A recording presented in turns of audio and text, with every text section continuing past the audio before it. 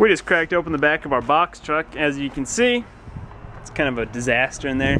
Not kind of, it's, it's a real, real disaster in here. Just a big mess. Uh, a lot of stuff here. A lot of, I mean, it looks pretty, I mean, there's a lot of value here, of course.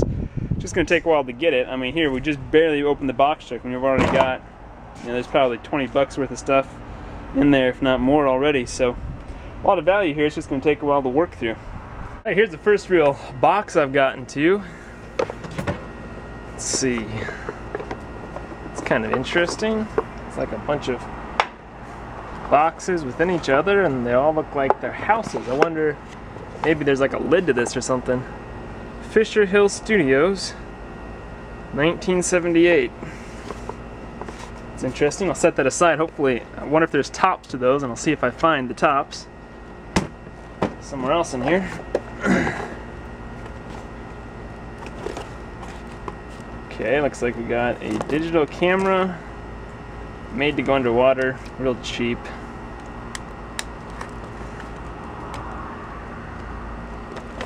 But still should be able to sell it.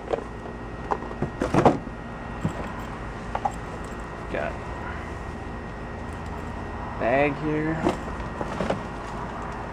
What's this? Get this thing out. What is this? Oh, look at this. Little Smurfs a poppin' train. It's actually really cool. That'll sell. Got plastic containers. Little Valentine's Day bear. Got a hat. Is interesting. What's going on here?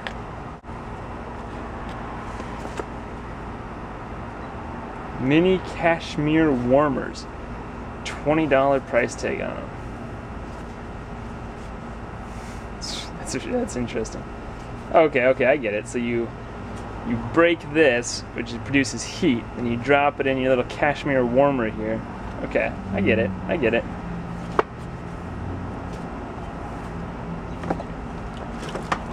The house that Jack built. insulated cup. Bunch of pins, M&M pins. All right. Oh look, here's the other pack. Goes with another warmer. And that's that's the tote. Everything else in there is garbage. But honestly, that's not that much garbage. Well, wait. I might set that aside. That's just paper. Guy. There wasn't that much garbage in there, so it's pretty good.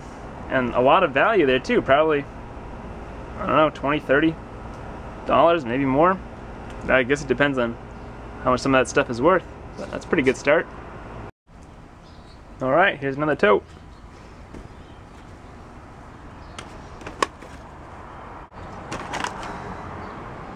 Looks like we've got some old games here. Okay, so you wind this up.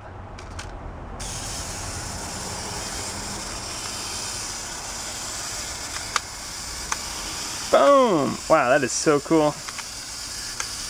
Boom! Oh no, I didn't wind it enough. That's pretty cool. I bet you that'll sell really well. Try some of these on eBay. What do we got? We got another one here.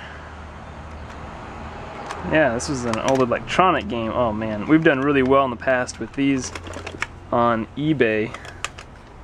So I'll be setting those aside. What's this one? It's uh, like a horse race pocket game. Oh, that is so cool. It's like magnets in there. Oh man. Awesome. Here's another one. Going ape. Huh. Lots of these. somebody had these in an antique mall, and you can see the price tags on them, eight bucks a piece. And if we got eight bucks a piece from that'd go a long ways to paying for this entire locker, just these games here.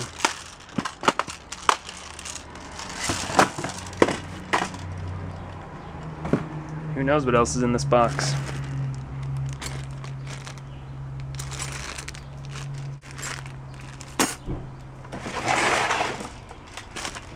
I'm gonna go get another box that I don't mix eBay stuff with store stock.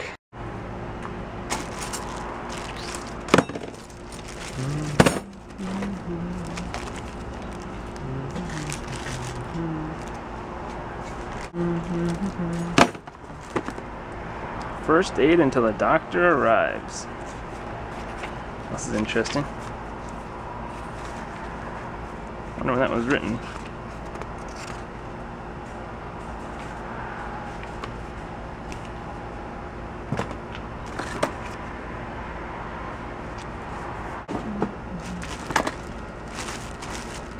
Look at that shirt. It's interesting. Little Mr. Bartender measure. Measures and pours. Might try that on eBay as well. Pick up cards from a casino. Bunch of vintage uh, Matchbox. Well, what are these? Are they Matchbox? Yeah, Matchbox.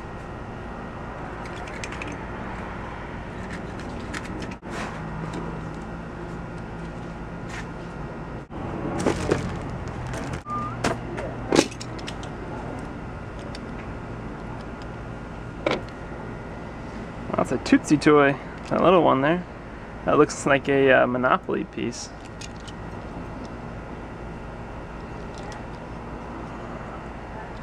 These will probably put on eBay as well. They're not in very good shape. A lot of them are broken, but just sell them as a lot on eBay. Pretty popular.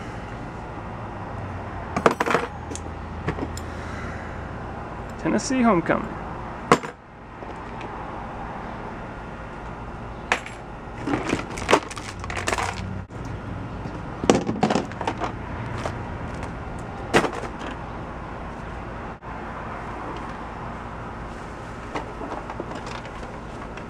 Got here.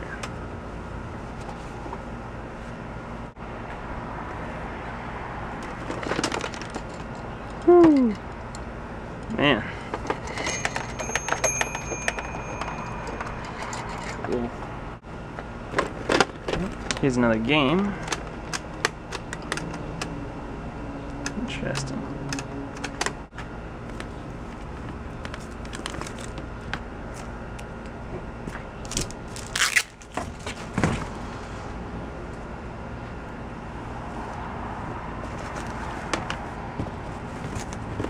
And then looks like we got a bunch of ties. And some belts. Alright, well I'll finish going through that and then we'll go on to the next box.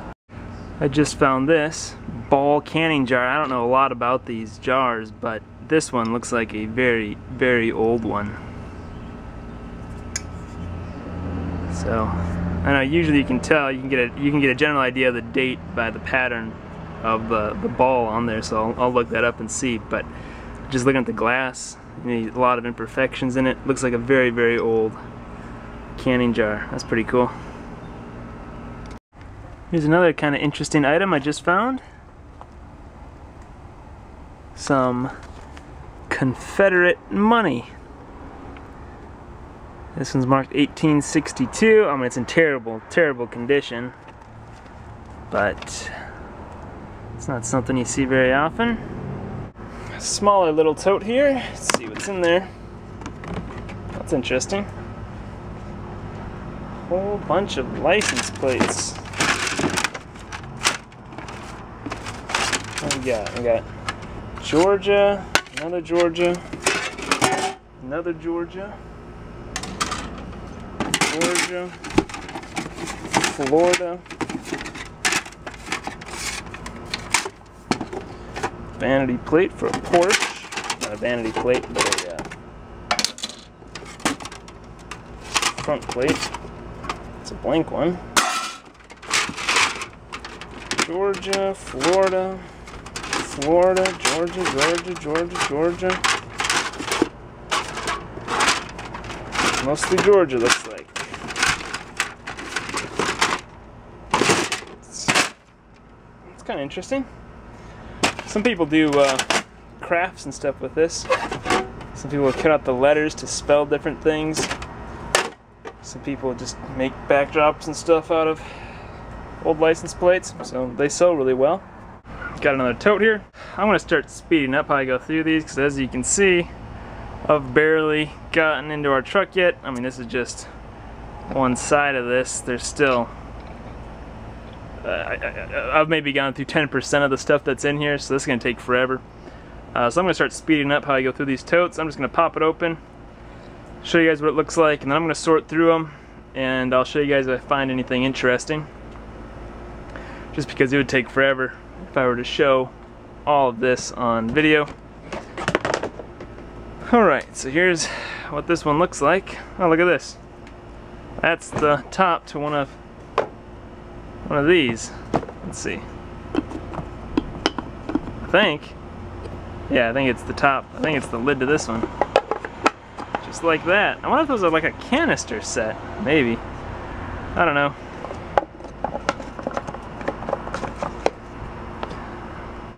Alright, well I will sort through this and I will show you guys if I find anything interesting.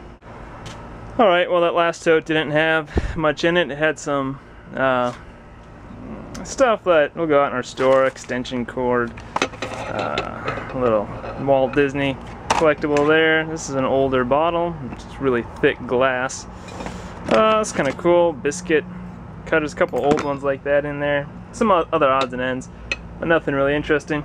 So now I'll go through this box and see what's in there and I'll let you guys know if I find anything.